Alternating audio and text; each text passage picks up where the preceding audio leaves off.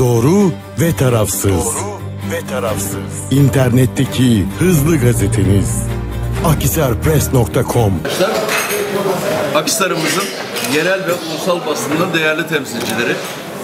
Hepinize iyi akşamlar diliyorum.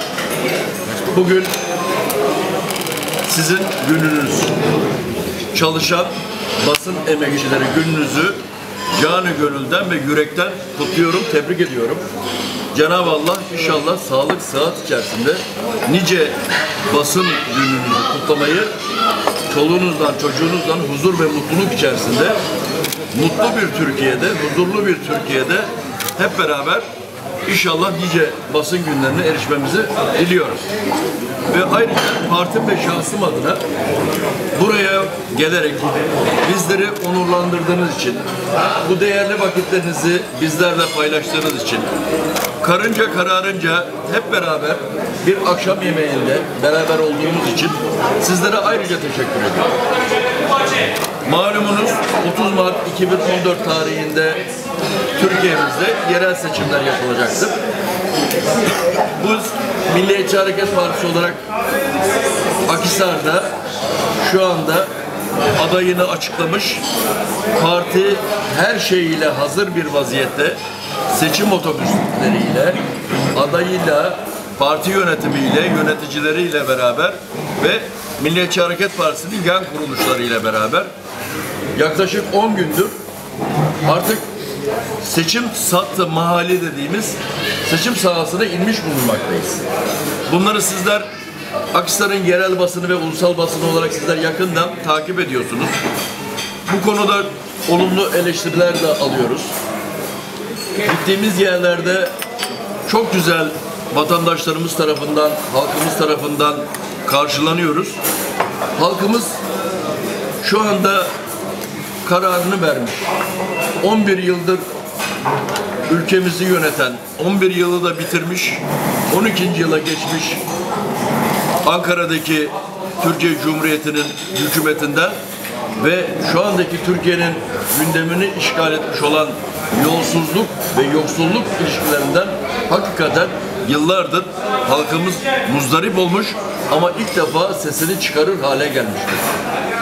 Akhisar'da da 10 yıldır Akhisar'da yerel yönetimler bazında belediye başkanlığında oturan aynı iktidar partisinin yöneticileri de ne yazık ki büyümüş kocaman bir köy havasındaki Akhisar'ımıza kalıcı bir eser bırakamamanın vermiş olduğu eziklik içerisinde Akhisar halkının bugün şehir içerisinde yaşayan vatandaşlarımızın en büyük problemlerinden birisi olan harç sorununu dahi çözememiş bir Akhisar'ımızın şu anda Aksar Belediye'mize yakın bir yerde sizlerle beraber olduk.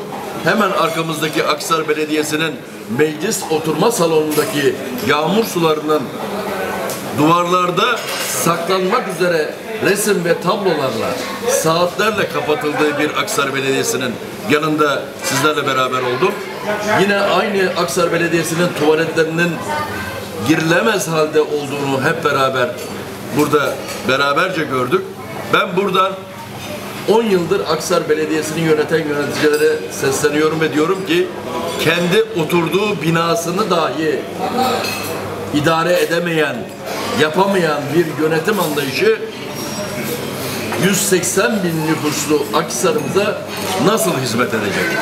Bunun takdirini elbette Akhisarlı hemşerilerimiz mutlaka vereceklerdir. Bu değerlendirmeyi yapacaklardır. Akhisar'ımızın problemleri aynı zamandaki işsizlik en büyük problemlerden bir tanesi. Ne yazık ki beyaz yakalı dediğimiz gençlerimiz Akhisar'ın Tahirün Caddesi'nde Akhisar'ın kahvelerinde iş bekler haline gelmiş. Büyük bir çoğunluğu sabahın köründe, beşinde, altısında Akhisar'dan otobüslere binerek Vessel'e, Manisa'ya gidip uykusuz bir vaziyette gidip gelerek çoluğuna çocuğuna ekmek peşinde koşar hale gelmiş. Allah nasip ederse ben 2009 tarihinde yapılan belediye başkanlığı seçimlerinde de Akhisar'da yine Milliyetçi Hareket Partisi'nin belediye başkanı adayıydım. Çok az bir oyla bildiğiniz gibi Akhisar Belediyesi'ni kaybettik. Ama bu defa Akhisar halkı hemşerilerim karar vermişler. O 2009 tarihinde yarım bıraktıkları işi bu defa tamamlayacaklarını gittiğim her yerde, köyde, şehirde, pazarda, esnaf gezilerinde bize birebir bunu söylüyorlar. Hocam 2009'da biz senin hakkını, değerini bilemedik ama şimdi 2009 yılında yarım bıraktığımız işi bu defa ta- ta- tamamlamak bizim boynumuzun borcu diyerek bize çok güzel bir teveccühle halkımıza karşılaşıyoruz. İnşallah tabii biz çok seviyeli, üslubumuzu da bozmadan, siyasi ahlakımızda asla bir zaafa uğramadan projelerimizle halkımızın karşısına çıkacağız. En kısa zamanda, yakın zamanda bu projelerimizi halkımızla, sizler aracılığıyla, basının önünde muhtarlarımızla, vatandaşlarımızla paylaşmaya başlayacağız. Tabii Milliyetçi Hareket Partisi'nin artık şu anda söyleyeceği bir sözü daha var. Yaptıklarımız yapacağımızın teminatıdır sözünü çok rahatlıkla söyleyebileceğiz. Çünkü 5 sene Manisa'da Büyükşehir Belediyesi'ni yöneten Cengiz Ergün Ergün başkanımızın neler yaptığını sizler görüyorsunuz. Bunu biliyorsunuz. Bugün tüm partiler ama seçime girecek olan 25 siyasi partinin neredeyse tamamının oyunu alabilecek, teveccühünü alabilecek bir belediye başkanımız Manisa'yı 5 senede ne- neler yaptığını sizler gördünüz ve şahit oldunuz. Demek ki sadece Ankara'dan para gelerek bir şehir güzelleştirilmiyor.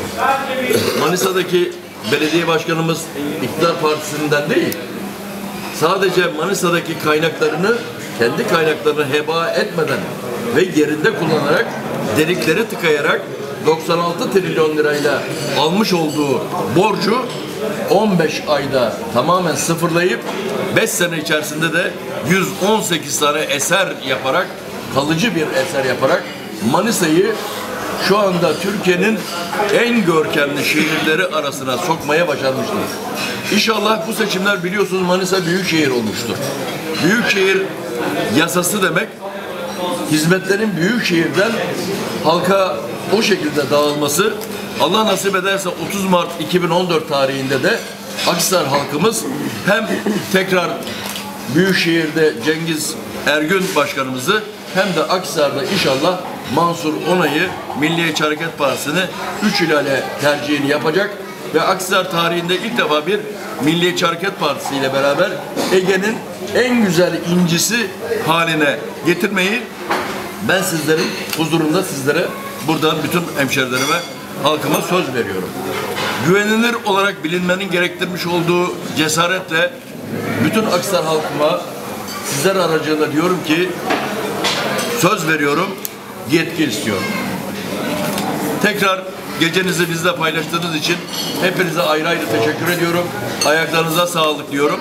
Sorularınız varsa teker teker cevaplamak isterim. Her türlü soruyu, aklınıza gelebilecek her türlü soruyu çekinmeden filtresiz bir şekilde lütfen bana sorabilirsiniz. Ama ben sizden çok memnunum. Akhisar'daki yerel basınımız ve ulusal basın olarak. Çünkü benim sizden isteğim benim lehimde değil, yansız ve yönsüz bir ya- yayın yapmanızdır. Bundan dolayı da bu ilkelere Akhisar olarak her şeyde olduğu gibi bir ilki gerektirdiği yap, yap- yapabildiğimiz için sizlere de ayrıca teşekkür ediyorum. Sağ olun diyorum. Sorularınızı bekliyorum.